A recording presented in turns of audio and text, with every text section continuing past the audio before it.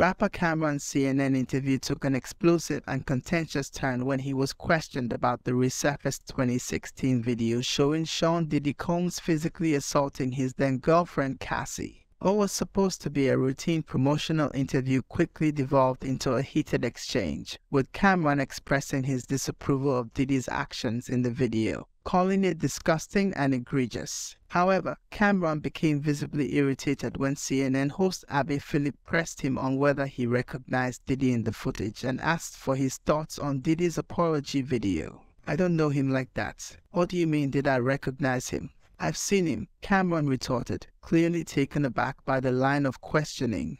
He stated that Diddy's apology wasn't for him, but rather for Cassie, and that his opinion on the matter was irrelevant. As Phillip attempted to steer the conversation towards Diddy's treatment of artists in the industry, Cam'ron grew increasingly agitated and confrontational. He questioned who had booked him for the interview, saying, I didn't know this was a Diddy themed show that you invited me to. The rapper's frustration was palpable, and he made it clear that he felt blindsided by the focus on Diddy's past actions. On his podcast the following day, Cam'ron slammed CNN for trying to use him to discuss the Diddy controversy rather than highlighting his own positive work. He felt the network should have focused on more uplifting topics instead of the nonsense surrounding Diddy's alleged actions. Cam'ron maintained that he does not condone domestic violence or Diddy's alleged actions, but took issue with being brought on solely to discuss that topic, which he felt was a bait and switch tactic. The heated exchange quickly went viral, with many viewers criticizing CNN for the confrontational line of questioning towards Cam'ron.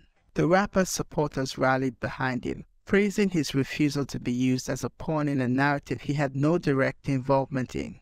The incident highlighted the often contentious nature of celebrity interviews and the delicate balance between probing questions and respecting boundaries.